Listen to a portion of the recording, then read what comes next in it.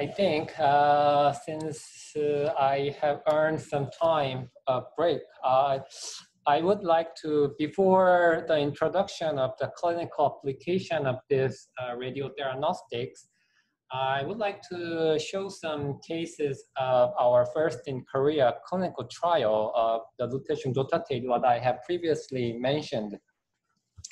So actually 2020, we first started the clinical trial of lutetium dotatate in Korea. So this SNUKB is actually some name which was named by our uh, Korean uh, pharmacy which made this lutetium dotatate drug. But actually the composition of this drug is same as the Lutathera, which is lutetium dotatate. So it could be quite confusing, but it is it's, it is, chemically, it is the same drug. So for the first patient, it was a rectal neuroendocrine tumor patient with multiple metastasis. And from the rectal biopsy, the patient was diagnosed as neuroendocrine tumor with grade two. And in the imaging, they found out there is a liver, lymph node, and bone metastasis. So these are some uh, abdominal CT from the previous, before the treatment. And as you can see, there are some uh, liver, uh, huge liver metastasis and bone metastasis. So this patient went on for the therapy. As for the grade one and grade two neuroendocrine tumors, the first line therapy for this kind of advanced or metastatic neuroendocrine tumor is actually applying somatostatin analog. So this patient also went on for the non-nucleotide therapy. However, there was no response to this therapy. And as you can see, compared to the baseline of the CT scan, if you compare with at the February, you can see that the liver hepatic metastasis has increased and there are some new lesions in the liver. So the patient had a progressive disease, although they had a therapy. So there we had enrolled this patient to give the lutetium uh, dotatate therapy. So before uh, giving the therapy, we had to check whether this uh, neuroendocrine tumor lesions has a high expression of somatostatin receptors. So we did the dotatate PET, and as you can see, this patient had a high uptake of dotatate PET, which reflects a high expression of somatostatin receptors. So this was, patient was enrolled in April, and these are some, uh, this is some uh, graphic of how we actually uh, give the patient the lutetium dotatate treatment in our Seoul National University right now. So for the kidney, so for the purpose of kidney protection, we give the patient the amino acid before 30 minutes before the injection of this lutetium dotatate. And until this four bottles, so it is two liters of amino acid are injected uh, more than four to six hours to the patient. And in the same time, we give the patient a antiemetics because usually the patient who gets this large amount of amino acid actually has a symptoms uh, to, of vomiting or nausea. So we give antiemetics. And at the at the opposite line, we give the lutetium dotatate using the syringe pump. And actually, there are many methods for the injection of this uh, PRRT. Like Lutathera actually uses some different methods, like some mixes to a bottle, or some uses a gravity method for the injection. However, we actually put this uh, PRRT drug into the syringe and we give it to using the syringe pump. And actually the advantage we think about using the syringe pump is there is quite a minimal of radioactivity left. So we can give the most of amount of the, the drug to the patient. So as you can see, it's quite a mess, but actually in Korea, there is no two liter bag that contains amino acids. So we give uh, four bottles of amino acid like this, and we prepare the the PRRT drug in the syringe and we put it in the syringe pump. And after the injection of the using the syringe pump, we actually uh, clear the syringe again using the normal saline. And we again push the leftover to the patient to minimize the residual, uh, residual of the drug. So normal saline is, and then again push through the line to again clear the residuals in the line, not only in the syringe, but in the line, this IV line.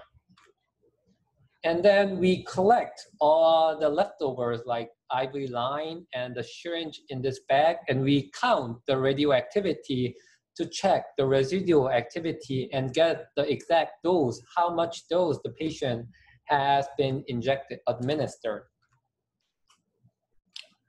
So I would like to share the the result of the actually uh, for now we have done the therapy for five patients and a total of six cycles, a total of seven cycles.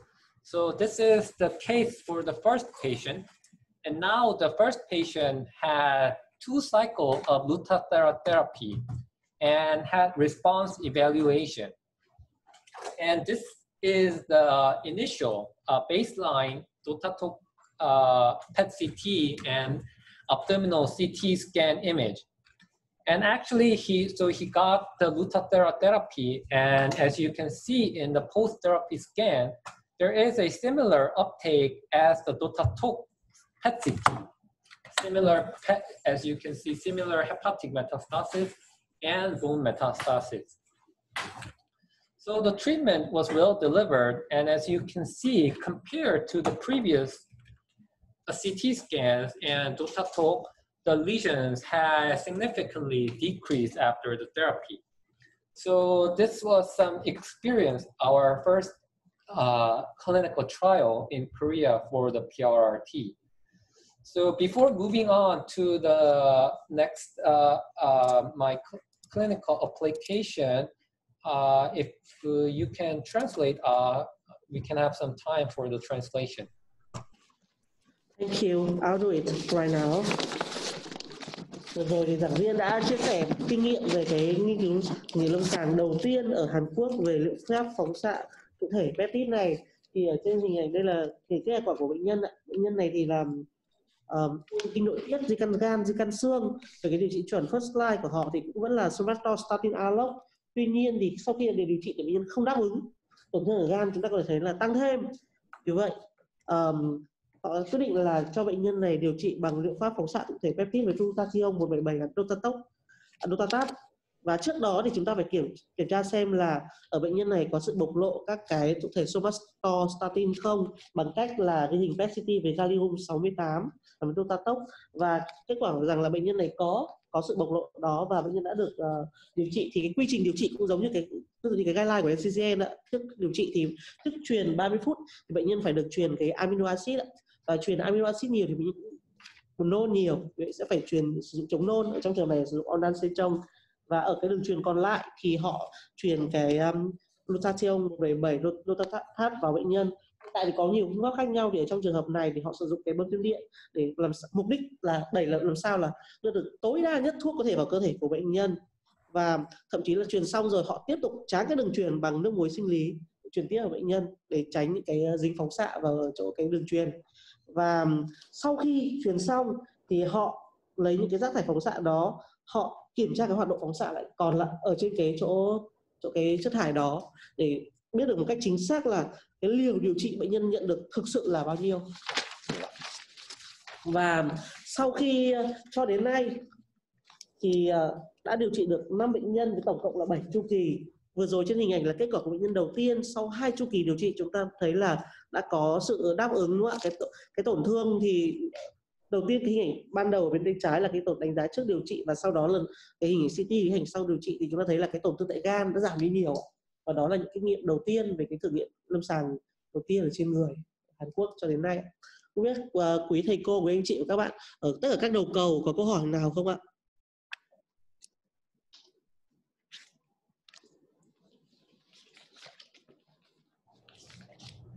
uh, học xem có chat đi Okay, thank you. Uh, uh, I will move on to this uh, clinical.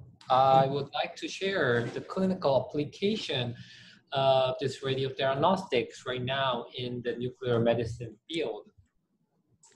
So I would like to again emphasize that there is a emerge of interest for this radioactive drugs right now.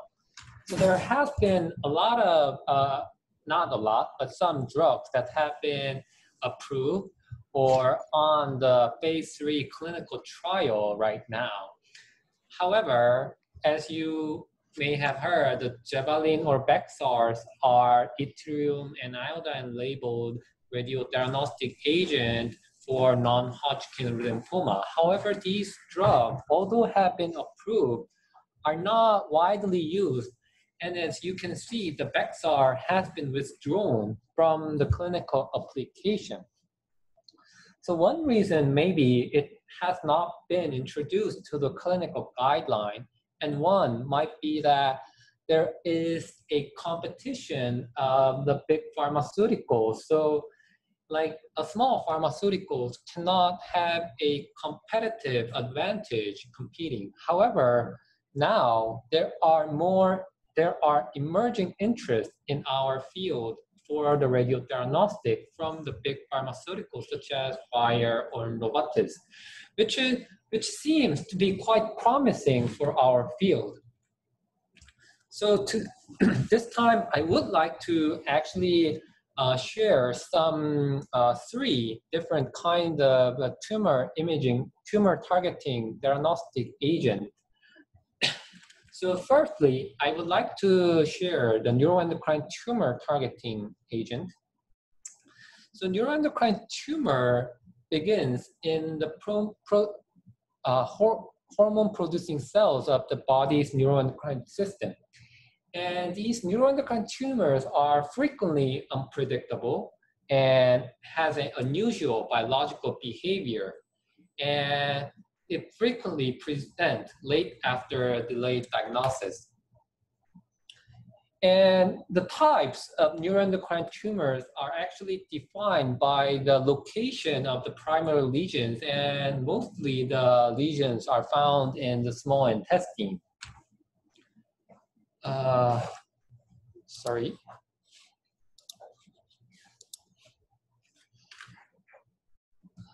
And for the diagnosis of this uh, neuroendocrine tumor, there are some uh, limitations, as I have earlierly mentioned, that it is hard to predict.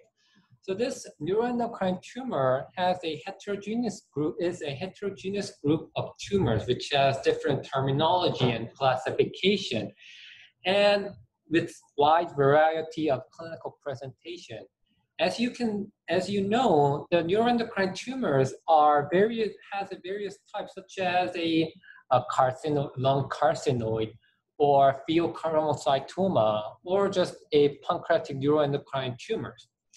And it also has a very late presentation. So over 60% of neuroendocrine tumors are advanced at the time of diagnosis. And the median survival for patients with advanced neuroendocrine tumors is within 33 months.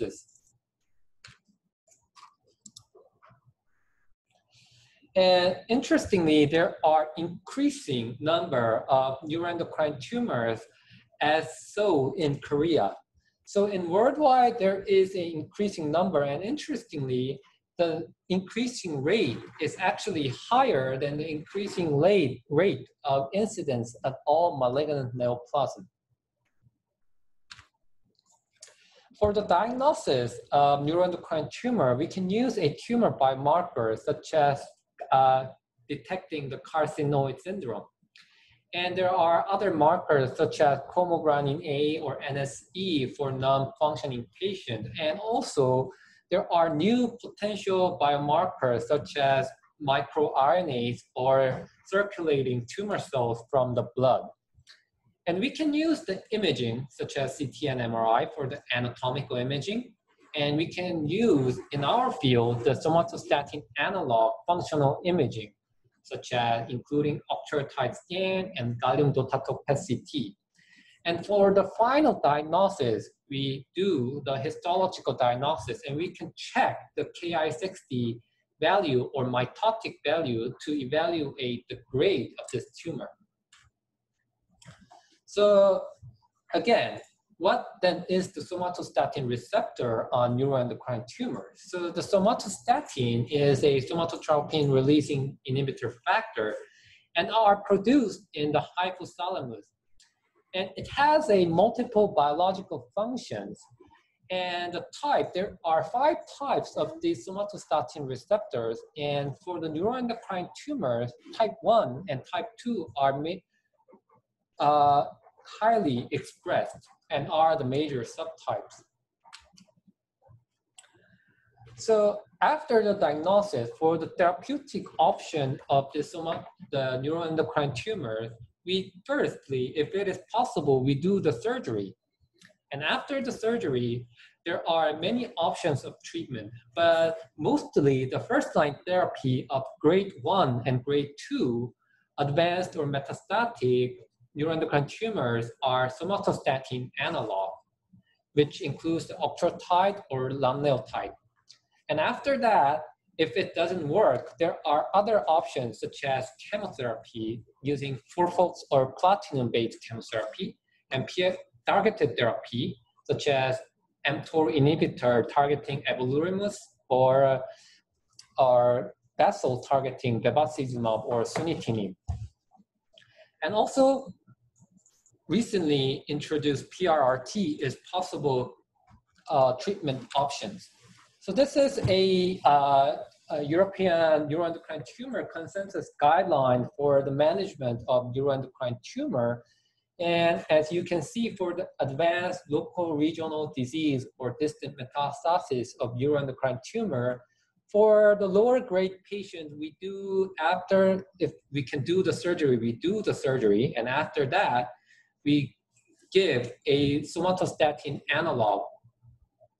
And for the grade three, more higher grade, chemotherapy can be the first, uh, first line drug. However, for the second line, there are many options and still there are no uh, certain consensus that what is the better for the second line therapy. So we can choose PRRT, targeted therapy, or interferon therapy. Then how have this came to this clinical guideline? So before that, I would like to uh, share some mechanism, mechanisms of these uh, therapeutic options for neuroendocrine tumor. So firstly, the somatostatin analog binds to the somatostatin receptors and has a function to inhibit the apoptosis and growth of the tumor cells. But also it has an effect for the signaling or secretion. So not only it can have a reduction of, it can control the tumor cell, but also it can control the symptoms of the patient, which has a carcinoma symptom, we can apply the somatostatin analogs. It's, and also there are many targeted targeting drugs such as mTOR inhibitor everolimus, and also there are drugs such as targeting the, the pericyte or the endothelial cells such as sunitinib or bevacizumab. So how did they came to this uh, guideline was upon these uh, many kind of clinical trials were done to see the efficacy of these drugs. And actually, these are some landscape uh, clinical phase three clinical trial which have been done for the neuroendocrine tumors. And as a summary, they have used several different drugs and different targets and different uh, uh, primary uh, endpoint was used for a different kind of this clinical trial. So there is some limitation of these randomized or placebo-controlled trials using targeted therapy, since as seen, they only use one kind of drug to compare it with the best supportive care or somatostatin analog. So it, so it is impossible actually to compare the outcome, outcome of one study to another. And actually the overall survival is difficult to assess since the result area confounded by high crossover rate.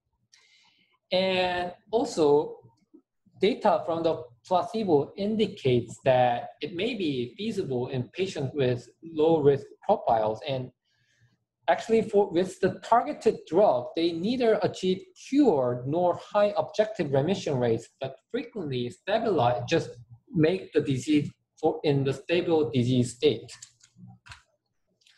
So there was an introduction to get more effective, might, which might be more effective drug, which we think is the peptide receptor radionuclide therapy, PRRT. And it is a cell targeting, it uses a cell targeting protein ligand as an octreotide as a ligand, and it put, it labels the ligand with the therapeutic agents such as yttrium-90 or lutetium-177.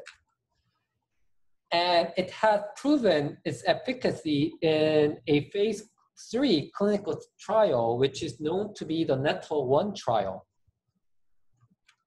So after this trial, it got the clinical approval from FDA. So now Lutathera is available uh, in America and also in Europe as it has been approved. And actually recently, Korean FDA also have approved this Lutathera drug. Then what's next for this neuroendocrine tumor and application of lutetium dotatate right now? So there are new randomized controlled trial for and other prospective trials as a purpose to broadening the indication of this drug and to compare with other targeted therapy agents. And there are new uh, upcoming new therapeutic strategies such as combination of therapy and selective intra-arterial injection or alpha using alpha particles or also using somatostatin antagonists rather than analog uh, agonist. So firstly, what I want to share is the NETTER-2 trial. And uh, as you can see, the inclusion criteria is quite similar to NETTER-1. However, the big difference is that it includes a patient who are in grade two or grade three. So the inclusion criteria of KI67 index is the patient who have more than 10% of KI index level are included in the study. And the next interesting point of this study is that the exclusion criteria is that if the patient have other previous therapy, including interferon, everolimus, or other chemotherapy, they cannot, they are excluded from this trial. So the, as you can expect, the actual purpose of this trial is to see the efficacy, whether the Lutathera can be used as a first-line therapy in the grade two or grade three neuroendocrine tumors. So the result from this uh, trial will actually broaden the indication of PRRT, not only for the uh, second line therapy, but for the first line therapy of neuroendocrine tumor patients. And also there are ongoing trial, which is named as COMPETE trial, which compares the therapeutic effect compared to the targeted therapy everolimus. And this therapy, this trial will show us what kind of therapy might be more effective for the second line therapy. And there are other, some new, strat, new strat, strategy for application of PRRT. So firstly, there are combination. So we can combine other chemotherapeutic agents. And now there are, there are many studies using PARP inhibitor, which may promote the radiation effect. So combining with PARP inhibitor, we can they, we want to see whether it has more therapeutic effect. And there are also attempts uh, injecting this agent not not in the vein, but by the intra-arterial injection for the patient with liver metastasis. And as you will know, the neuroendocrine tumor frequently show multiple hepatic metastasis. So injecting intra-arterial injection may higher, may improve the targeting of these hepatic lesions and can lower the radiation effect for the other normal organs. And there are also attempts using alpha emitting radioisotopes and also for somatostatin antagonist. And this is first in human experience for the alpha labeled radionuclide therapy for neuroendocrine tumor. And actually they have seen some effectiveness using this alpha particles. So this was for the neuroendocrine tumor and uh, nextly, for the prostate cancer, I will move on to the prostate cancer. So 10 or 20% of men have advanced prostate cancer at the time of diagnosis. And actually the epidemiology of prostate cancer is increasing. Actually, it, it, it has a high incidence is in the Western countries.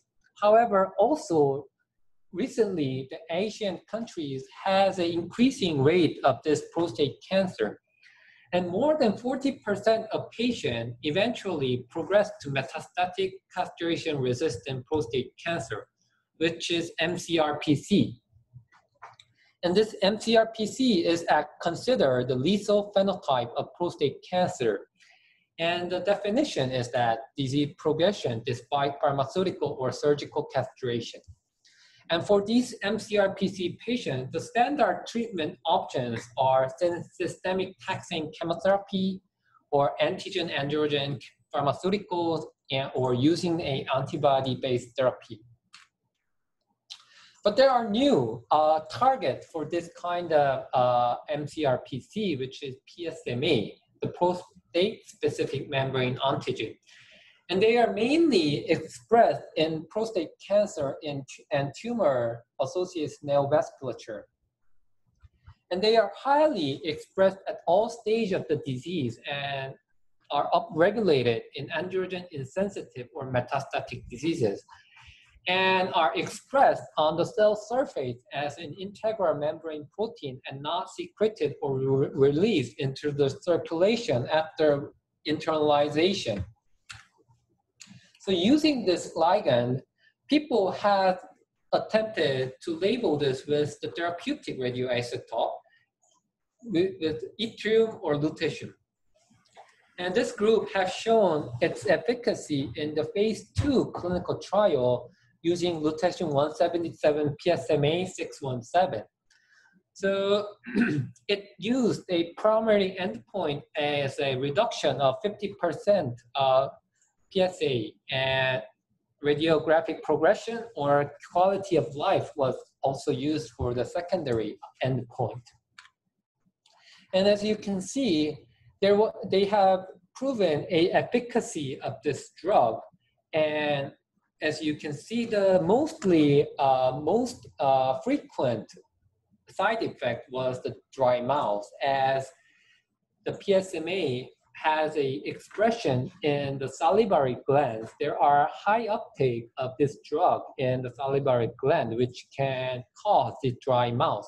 So there are concerns how to prevent these dry mouths in the prostate cancer patient who gets the lutetium PSMA therapy. And there, however, other uh, there are minimal of side effects from this lutetium PSMA therapy.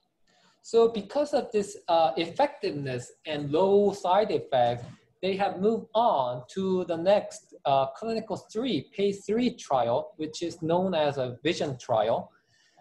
And it is a comparison of lutetium PSMA 617 compared to the best supportive and best standard care. So the inclusion criteria for this patient is the patient who have no other option left.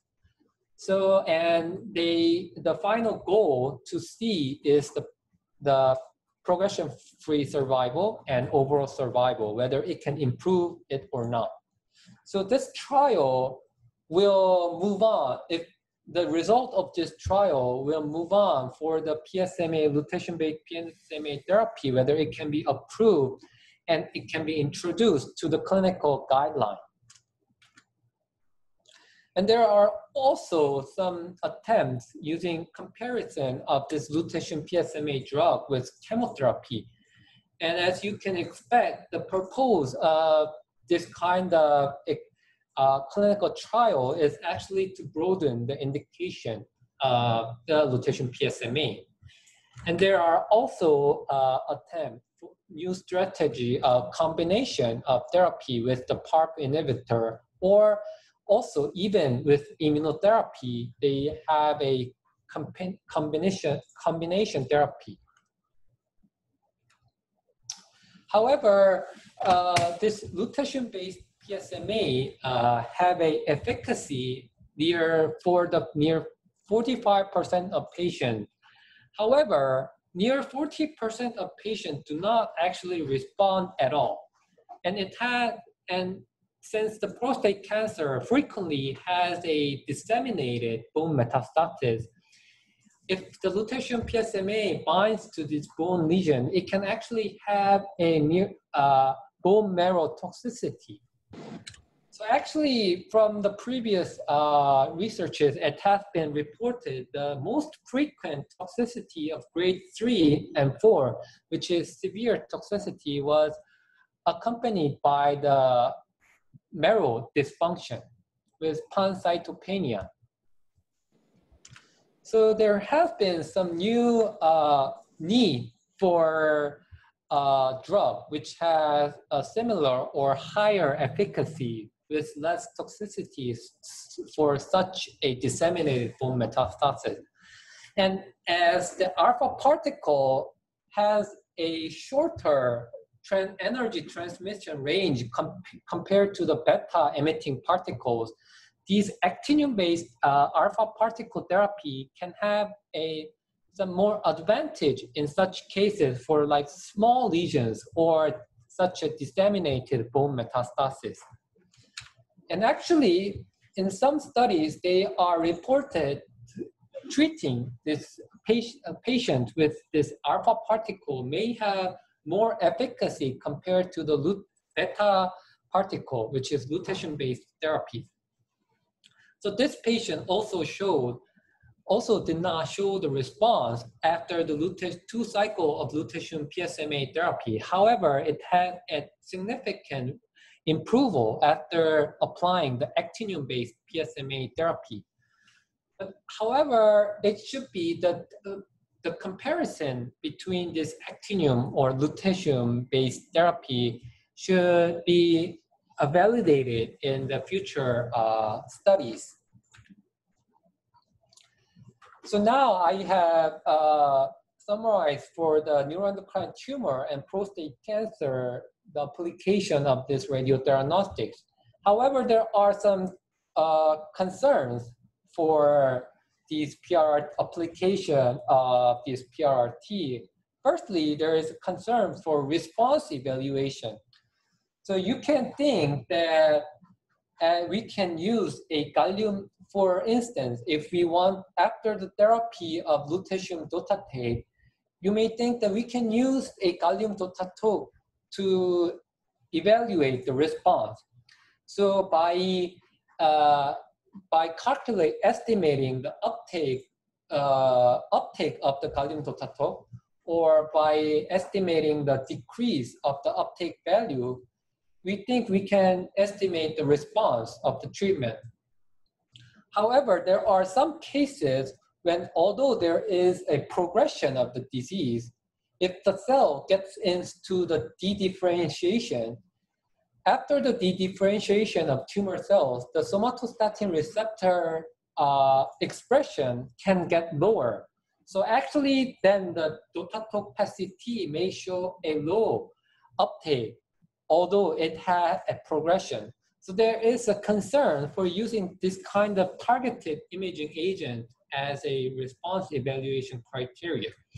So there are still some consensus meeting how we should evaluate the response of the patient. And next concern is about the personalized dosimetry.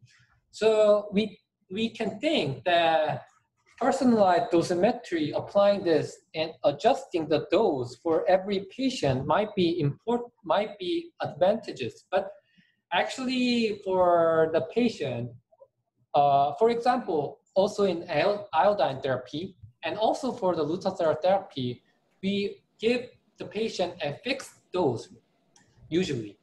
So we don't actually adjust the dose regarding to the personalized dosimetry. But there are some attempts or clinical trials, what might be the benefit of these personalized dosimetry, applying this personalized dosimetry. And I think these studies might show whether doing such a dosimetry study will have more efficacy or may achieve more safety. And actually, we will have a workshop, and this might be some small advertisement that we will have a workshop again in the winter. Then at winter workshop will be dedicated for the nuclear medicine physics regarding this dosimetry studies. So if you can, I would like to welcome all you all to the winter workshop again too. And lastly, what I want to share is about the future diagnostic approaches.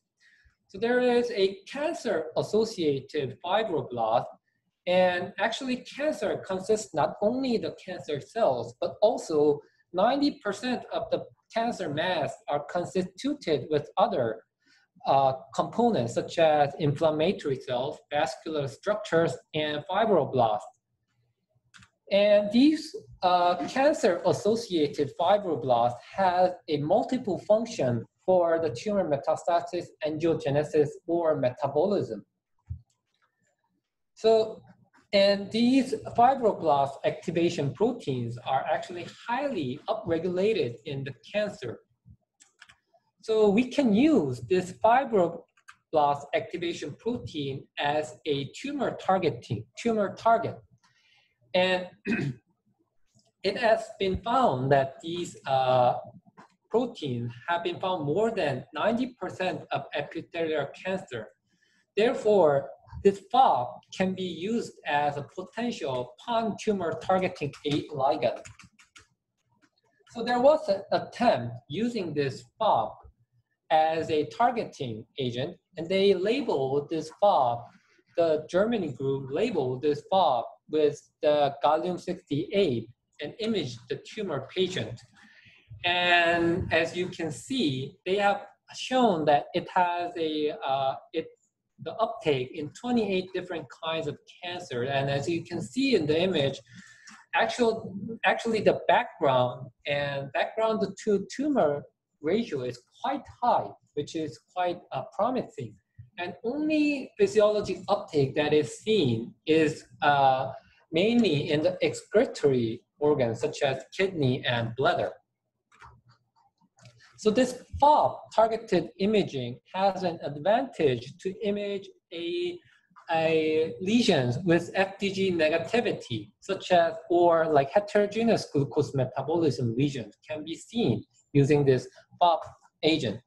So it can be an alternative for the FDG imaging for tumor patient.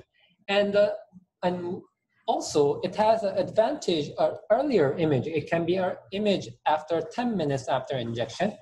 And actually it doesn't require fasting, which makes it easier to prepare the patient compared to the FDG PET. and because it has such a uh, pan-tumor targeting ability, people had attempt to label this not only with the diagnostic radiopharmaceutical, but also with the therapeutic agent. So after labeling with yttrium, they have seen a reduction in pain medication of the patient with no side effect observed. So it might be a promising tumor therapeutic agent. And it only, it, but uh, compared to previously mentioned uh, lutetium dotatate or the lutetium PSMA, the advantage is that it can be applied to many diverse types of tumors.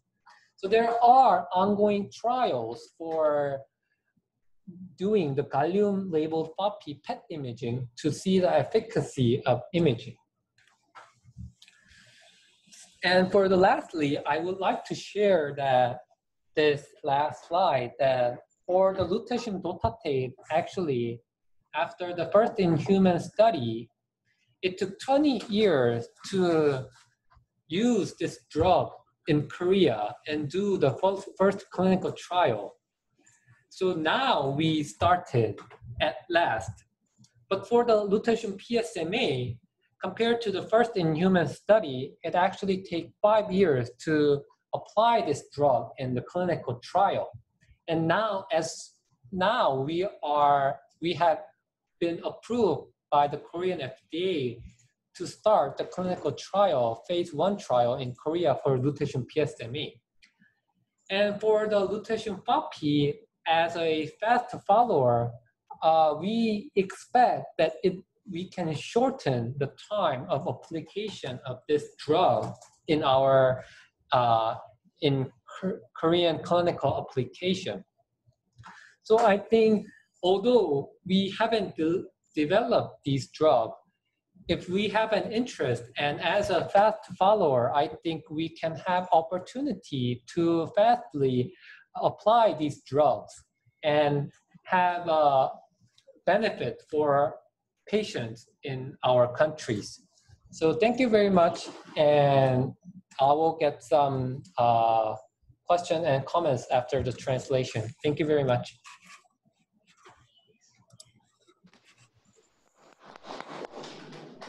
Vâng, em xin dịch lại uh, nội dung của bài giảng vừa rồi về chúng ta đi về phần nghiên cứu và bây giờ chúng ta sẽ là ứng dụng lâm sàng của Theranostic. Lời đầu tiên mà giảng viên nhấn mạnh là Theranostic hay là cái các cái dược chất phóng xạ giờ đây đã trở thành một cái xu hướng mới, một cái nổi lên từ cơn bão của thị trường với giá 3,9 tỷ của cái ờ, bản quyền của Lutera trên Lutatio 177 gắn Lutatat hoặc là 2,1 tỷ của cái Endocyte điều trị ung thư tuyến tiền liệt. Thì đây cũng chính là hai cái ứng dụng chính mà mà giảng viên đã chia sẻ. Đầu tiên là trong u thần kinh nội tiết thì đây là một nhóm bệnh có lâm sàng đa dạng và tiên lượng rất là khó và bệnh nhân cũng thường đến ở trong giai đoạn muộn. Vì vậy điều trị trước đây chưa mang lại nhiều hiệu quả. Trong khi dịch tễ học thì càng tỷ lệ càng ngày càng tăng lên. Và để chẩn đoán thì có một số biomarker đã được sử dụng. Chẳng hạn như là 5 5 HIA hoặc là uh, trong tương lai cũng đang nghĩ tới như là trong um, microRNA hoặc là cái uh, tế bào u lưu hình trong máu về chẩn đoán hình ảnh thì chúng ta đã có những cái ghi hình chẳng hạn như đơn giản là CT, MRI hay là cao cấp hơn như là những cái ghi hình chức năng sử dụng cái thụ thể statin chẳng hạn như là PET-CT với gallium 68 gắn dotatok và với chẩn đoán xác định vẫn bằng PET à, bằng giải phẫu bệnh để phân loại độ mô học của bệnh. Có một cái khái niệm ở đây chúng ta uh, cần làm quen đó là cái thụ thể của somatostatin và ở trong nét thì nó bộc lộ cao ở các bệnh nhân nét. Nó có 5 nhóm từ somatostatin 1 đến 5 trong đó thì chủ yếu là các loại somatostatin nhóm 1 và nhóm 2 về điều trị uh, có một số cái lựa chọn điều trị hiện đang có hiện nay. Cái lựa chọn đầu tay vẫn là cái um, cái octreotide cái các cái um, somatostatin uh, analog. Tuy nhiên khi mà bệnh nhân tiến triển với lựa chọn đầu tay này thì chúng ta chỉ có một vài lựa chọn thôi rất ít. Hóa trị có thể là sử dụng phác đồ phun phốc hoặc là sử dụng các thuốc điều trị đích như là các cái uh, ức chế em to các cái ờ, uh, um, TKI như là sunitinib hoặc là những cái ức chế tăng sinh mạch như là bevacizumab. Và gần đây trong thời gian gần đây thì PRT đã được ứng dụng trong lâm sàng và mang lại những cái hiệu quả và đáng rất là đáng khích lệ và đã được vào trong guideline. Lúc nãy thì mình đã nhìn thấy một guideline của NCCN và bây giờ là một guideline của châu Âu. Với những bệnh nhân u thần kinh nội tiết uh, grade 1, grade 2 uh, sau khi cái điều trị đầu tại first line thất bại thì có một số lựa chọn và PRT là một trong số các lựa chọn đó.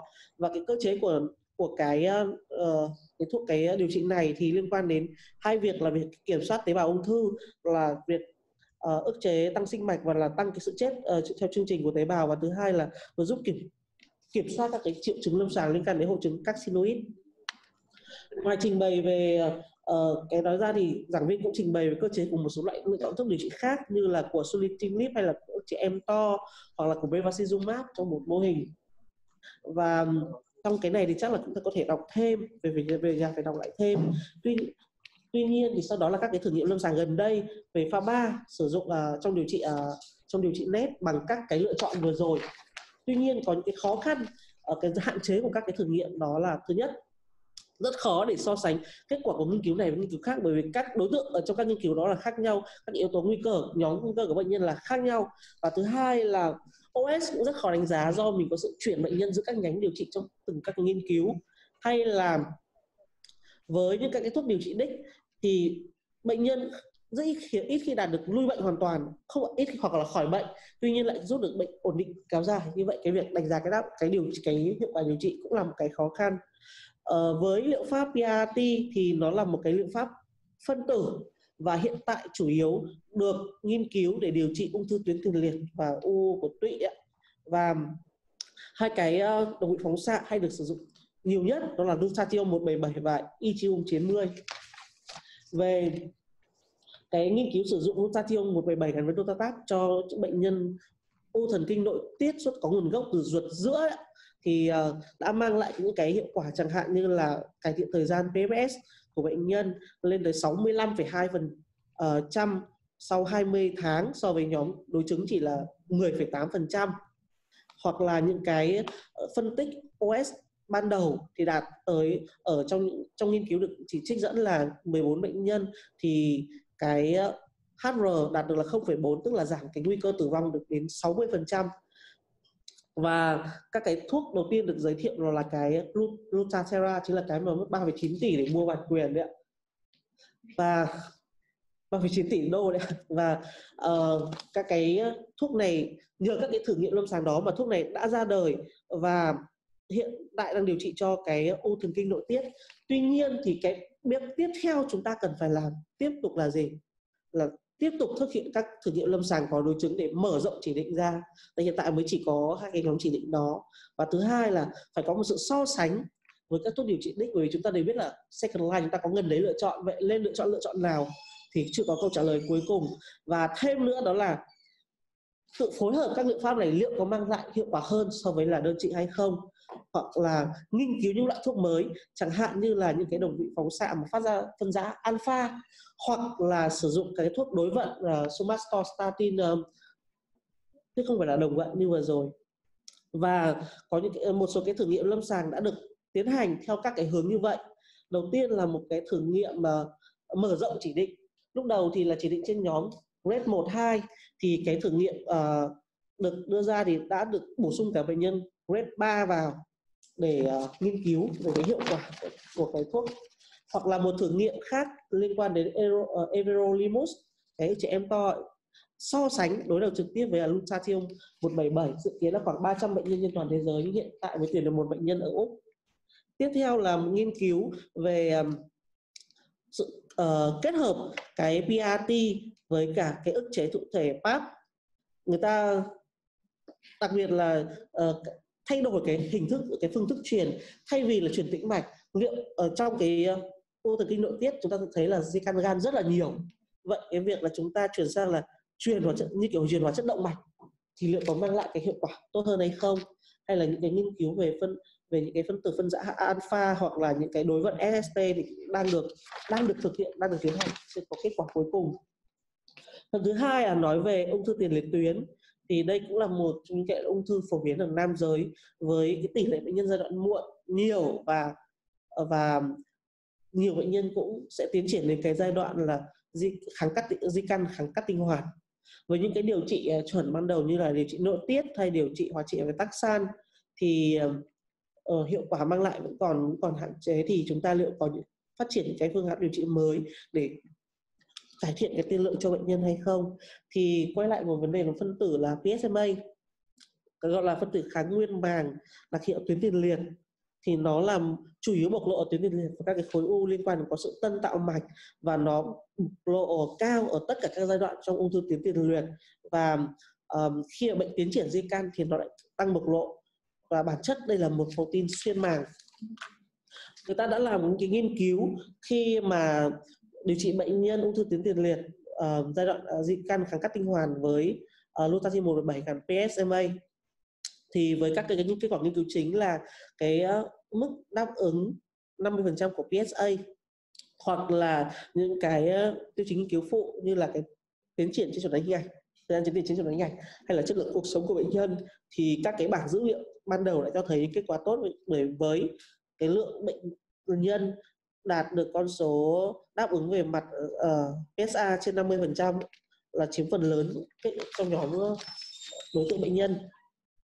Tiếp theo là một cái nghiên cứu ờ, khác là nghiên cứu um, Vision. Nghiên cứu này cũng hướng đến mục tiêu là cái OS và cái thời gian tiến triển sống uh, thời gian sống thêm thời uh, gọi là thời gian um, sống thêm không tiến triển trên chẩn đoán hình ảnh thì nghiên cứu này cũng đang được tiến hành hay là nghiên cứu so sánh đối đầu giữa Taxan và Lutatium 177 gắn với PSMA hoặc là những cái nghiên cứu phối hợp giữa là liệu pháp uh, Lutatium 177 gắn PSMA với kết hợp với olaparib hoặc là kết hợp với liệu pháp miễn dịch thì những cái này vẫn đang được tiến hành. Và thêm một cái nữa là nhưng mà cũng có một cái khó khăn uh, mà giảng viên đưa ra khi sử dụng cái liệu pháp Lutatium 177 gắn với PSMA nó là có khoảng 40 phần trăm bệnh nhân không đáp ứng. Và cái thứ hai là cái độc tính trên tủy của bệnh nhân. Và có những bệnh nhân hạ cả ba dòng. Và tí nữa trong bài sau sẽ có một cái trường hợp lâm sàng bệnh nhân tử vong. Thì ờ, đấy là một cái phải lưu ý. Và cũng vì cái câu hỏi đó độc tính nhiều thế nên họ mới quyết định là cố gắng tìm xem là có những cái sử dụng cái dược chất phóng xạ nào khác mà an toàn hơn không. Thì người ta đi tìm ra cái actinium 225 với cái ờ, phân giã là ở đây là phân giã alpha. Năng lượng ờ, phát ra 5,8 mét. À, và có một số cái nghiên cứu đã chỉ ra rằng là cái liệu pháp um, này hiệu quả hơn cả liệu pháp với Lutatium 177. Tuy nhiên thì mới là chỉ là những cái nghiên cứu cỡ mẫu nhỏ và cần cái nghiên cứu tiếp theo lớn hơn để mà chúng ta có thể khẳng định kết quả và cho đến nay thì những cái mối quan tâm khi áp dụng PRT trên lâm sàng thì có một số cái vấn đề như sau. Thứ nhất, đánh giá đáp ứng điều trị thế nào cho nó đúng, bởi vì thứ nhất đây là một liệu pháp rất là tốn kém, nhưng cái việc đáp ứng điều trị như thế nào thì mới là chính xác. Bởi nếu thông thường chúng ta sẽ nghĩ rằng là chúng ta sẽ đánh giá bệnh nhân bằng việc chụp PET CT với gallium 68 gắn với dotatok thì nếu bình thường thì đúng là bệnh tiến triển thì khối u càng tăng hấp thu cái đồng vị phóng xạ của mình lên. Tuy nhiên, có một số trường hợp lâm sàng, người ta đã nghiên cứu thấy rằng là khi mà điều trị bằng liệu pháp PRT thì cái sự bộc lộ thụ thể somatostatin nó bị thay đổi. Do đó, có một số trường hợp bệnh vẫn tiến triển, nhưng trên chẩn đoán hình ảnh khi mà chụp với PET CT với kalium 68 thì lại không thấy sự tăng hấp thu dược chất phóng xạ. Như vậy cái việc đánh giá vẫn còn ừ, có những cái câu hỏi ở đây. Điều thứ hai là cái việc chọn bệnh nhân lựa chọn bệnh nhân như thế nào và và cái liều điều trị cho bệnh nhân ra sao có cá thể hóa liều hay không. Thì hiện tại cho tới hiện tại các cái uh, điều trị của họ của các chuyên gia thì vẫn là sử dụng liều cố định như trong khuyến cáo mà chưa có chưa thay đổi liều phụ thuộc vào chẳng hạn chiều cao cân nặng của bệnh nhân mà sẽ là dùng liều cố định. Và ờ, uh, thêm đây là đây là khóa học mùa hè. Đến mùa đông này sẽ có một khóa học nữa cũng của tên và khi đó thì các chuyên gia rất mong rằng có sự tham gia nhiều hơn của các kỹ sư bởi vì khi đó sẽ có liên quan nhiều đến cái việc vấn đề là đo liều của bệnh nhân. Về um, một cái ung thư cuối cùng và chuyên gia mà đề cập đến đó là những cái ung nguyên bào những cái gọi là ung thư liên quan đến nguyên bào sơ. Bởi vì nghiên cứu họ thấy rằng là có một cái um, protein hoạt hóa nguyên bào sơ nó liên uh, quan nhiều đến cái quá trình uh, phát triển gọi là tiến phát triển và tiến triển của ung thư. Và bây giờ thì mình sẽ có cái liệu pháp chẩn đoán hình ảnh bằng cách tích là gắn với cái cái um, gọi là cái chất ức chế của cái uh, protein này. Thì uh, nó có những cái ưu điểm tức là nhạy họ đưa ra là những cái ưu điểm như là nhạy hơn so với cả uh, PET-CT với Ờ, uh, MDG và thứ hai là có thể có thể phát hiện được các tổn thương nhỏ. Và cái thời gian ghi hình cũng rất nhanh chỉ sau khi tiêm thuốc 10 phút thôi. Và cũng là một cái biomarker cái, cái kết quả có thể là một cái biomarker tốt để đánh giá cái đáp ứng điều trị của bệnh nhân. Và cho đến nay thì người ta cũng đã phát triển nghiên cứu phát triển những cái liệu pháp điều trị uh, gắn với cái thụ thể này. Và với sử dụng là quilolin, quilolin với hiệu quả trên ờ, lâm sàng khi bệnh nhân được điều trị với hai liều là 2,7 gigabecquerel thì thấy là có đáp ứng điều trị. Um, chủ yếu hiện tại là điều trị giảm đau và nó chưa ghi nhận được tác dụng phụ nặng và đặc biệt là về mặt huyết học. Và có một điểm lưu ý là họ là cho rằng là cái sự hấp thu của cái dược chất phóng xạ này nó thấp ở tất cả các cái mô bình thường do đó hy vọng rằng là cái thứ nhất, hấp thu cao ở tổ chức u để mang lại hiệu quả điều trị cao. Thứ hai là cái tác dụng phụ nó cũng ít. Và cuối cùng cũng như là những lời nhắn nhủ nghĩa là tất cả những cái phát triển này là một cái hành trình dài. Từ cái việc ở nghiên cứu đầu tiên của Lutatium 117 Lutatat ở người đến cái thử nghiệm lâm sàng đầu tiên ở Hàn Quốc là 20 năm. Rồi Lutatium 117 gắn với PSMA từ nghiên cứu đầu tiên trên người đến cái thử nghiệm đầu tiên của Hàn Quốc trên người là đến mất 5 năm. Thậm chí là cái cuối cùng thì còn chưa có. Vì vậy ở kể cả ở Việt Nam thì cũng như lúc nãy còn có chia sẻ là sẽ cùng phải gọi là hợp tác để có thể phát triển vâng xin cảm ơn Vâng, theo như trên phần mềm chat thì chúng ta có câu hỏi của quý đồng nghiệp hỏi về cái liều liều của lithium 177 thì phải. Vâng. Mở phần mềm ra đi em. Vâng. I I have seen some questions from the chat. We have a question about the dose of the Yeah. lithium 177. Please. Yeah. Uh, Actually- one question for you. Yeah, I I have uh, translated it, and uh, I we actually uh, for the lutetium actually doesn't need uh, isolation therapy, so it can be done in the outpatient. So because it the gamma ray coming out from the lutetium is uh, minimal, but quite low. So actually we can uh, the patient after the therapy can go home. But we do give them the caution as a iodine therapy to like uh, to have some distance from their child. But actually for we don't have such a regulation as an iodine therapy for lutetium and nextly i have seen a question about uh, so dosimetry for patients. So for the clinical trial, so we have right now, we have two options for neuroendocrine tumor patients right now in Korea. So they can buy the Lutathera and get the treatment. Another option is to get the clinical involved in the clinical trial.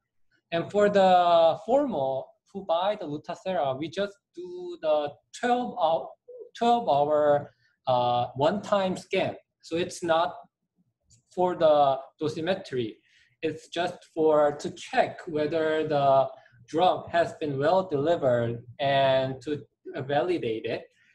And, but for the clinical trial patient, we actually do four times of uh, scan, like four hours, 12 hours, 24, 24 hour, and 120 hour to check whether they're to check the dosimetry for critical organs such as kidney and bone marrow. And is there other questions? I have heard that our from participant Arun has a questions. So I think Uh, thank you, uh, thank you, Dr. Suh. And uh, I would like, uh, I uh, first one, I would like to introduce myself and thank you, Dr. Suh, to giving me this opportunity. Uh, yesterday, I got email from Professor Dong Soo Lee about this uh, uh, this workshop actually, and that we we are going, you are organizing this Zoom meeting. yesterday I missed that opportunity, but I today I just grabbed this opportunity and I'm here. Actually, I'm Dr. Arun Gupta from Nepal, and I'm currently working as assistant professor in B.P. Koirala Institute of Health Sciences in Nepal. I have done my PhD in SNU uh, under the supervision of Professor Dong Soo Lee and Professor Jae Sung Lee. During my PhD, I developed a method, a patient-specific dosimetry method to calculate uh, Voxel-based dosimetry in small animal. And um, during the, those days, uh, I really worked so hard uh, to calculate this, to uh, do this dosimetry, Voxel-based dosimetry works using uh, the Monte Carlo simula simulation that is gate dosimetry. And uh, today when I just, uh, I was attending this lecture, this meeting and I saw very interesting slides from Dr. Shaw. And, and even I became so happy to know that the clinical trials and the first clinical trial and the first patient, the image is the first patient when I saw, I became so happy. And uh, I had a question uh, since then that uh, the dosimetry work has have has even started there in that clinical trial in that, that patient or not? And so much yes, curious yes. to know about that. Yes, actually, we are doing the dosimetry for the uh, participants in the clinical trial. And as I have previously mentioned, we have do we are taking uh, four times uh, of image, and actually we are doing the dosimetry based on the image, planar image right now. But actually, we have acquired additionally SPECT CT to get, uh, but so our goal for now, actually, we do the planar image-based dosimetry to just evaluate the toxicity dosimetry for kidney and bone marrow. But our goal is to actually validate the use of SPECT, the additional need of SPECT CT or whether we can reduce the time timing point, timing point, number of timing points to like two times or three times. So that's our some other future uh, studies that we are uh, thinking about. And actually that kind of things might be discussed at the winter workshop. Yeah. From, so I, Yeah, yeah, uh, and, and, and I, yeah, I, I, I even become much happier to know that uh, you are organizing this winter session also, and I would uh, really like to attend that uh, uh, meeting also in winter, and hope to uh, contribute myself also in that meeting. And thank you so much uh, for this interesting session. so if uh, the, uh, I would like to have some time for the translation of some answers. Thank If you, I'll translate. Ờ, về hai câu hỏi. Đầu tiên là cái việc bệnh nhân sau khi nhận liều điều trị thì có phải cách ly hay không? Thì câu trả lời của tiến sĩ là hiện tại thì cái liều điều trị của bệnh nhân là bệnh nhân phải nhận cái liều phóng xạ liều thấp do đó là không phải cách ly mà về nhà ngay tuy nhiên thì cũng phải lưu ý rằng hiện tại cái biện pháp này cũng mới lên chưa có những quy định ở Hàn Quốc. Cái thứ hai về việc cái dosimetry cái đo liều thì bệnh nhân lượng nhận lượng pháp điều trị này ở Hàn Quốc thì hiện có hai lựa chọn. Một là mua trực tiếp cái cái gọi là thuốc biệt dược uh, cái cái thuốc chính hãng Lutathera đấy thì về thì chỉ uh, tiêm một lần như vậy scan một lần thôi. Tuy nhiên trong các thử nghiệm lâm sàng thì người ta có scan 4 lần ở các thời điểm khác nhau như 4 giờ 12 giờ 24 giờ. 120 giờ để đánh giá cái cái cái thuốc phóng xạ tập trung ở thận ở tủy xương để đánh giá các cái độc tính và vừa rồi thì cái tiến sĩ Atom từ Lepan cũng là một nghiên cứu sinh ở của giáo sư Lee thì cũng có câu hỏi tương tự về vấn đề dosimetry tại vì trong trong cái đề tài nghiên cứu sinh của của tiến sĩ Atom thì bác cũng làm nhiều về cái uh, dosimetry này. Xem còn câu hỏi nào nữa. So is there any comments or questions for more discussion? If uh, not, uh, we will have a, a 10 minute break and we can start after 10 minutes. And before break, uh, I would like to have some information. I would like to give some information that we have put a link in the in the chat box that you can actually visit uh, our website to get this uh, educational materials. And you can also, uh, we will upload the YouTube uh, this uh, we we have recorded this lecture and we will upload it to the YouTube. So you can also again if you can you would like to replay you can see it in the uh, YouTube. And lastly I would like to ask a favor for all the participants that uh, we would you to actually uh, uh, participate in the survey I have put a link at the last part for the uh, survey. So if you give any comments for us, I think we can actually upgrade and make more better contents uh, for the next or later future meetings. Thank you very much. And we will see at, uh, I think, 220 maybe, uh, or eight minutes later, we will see again. Thank you very much. Sorry, I'm sorry. May I have another question? Yeah, yeah, yeah. Is there a question here um, asking about the, the cost of uh, Lutathera in your clinic?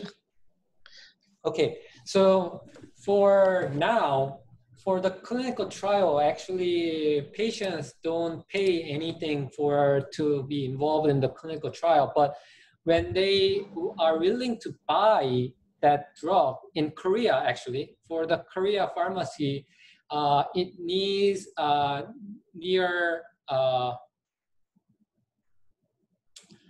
sorry, I, I have to translate to dollar, so I, I should think. Uh,